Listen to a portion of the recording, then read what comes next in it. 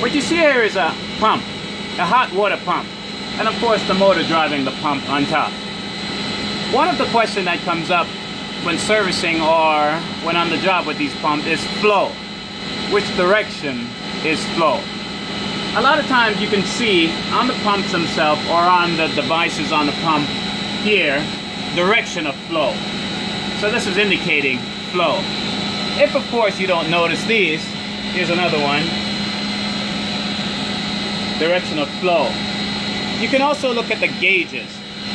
For example, this gauge is showing about 130 pounds coming into the pump as the pump is pulling a suction on the water.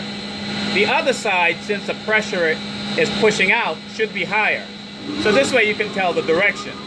So this is about 130, and the other gauge, if you take a closer look, you're looking about one, almost 170 also 50.